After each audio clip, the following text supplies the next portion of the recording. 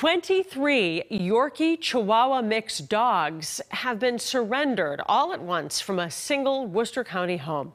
Officials say the dogs' previous owners scrambled to care for them after losing their own home, even moving nine of them to a backyard shed in an effort to keep a roof over their heads. But very soon realized they just could not provide care and called the MSPCA for help. The dogs are in good health and range from 1 to 16 years old, and they're ready to be adopted.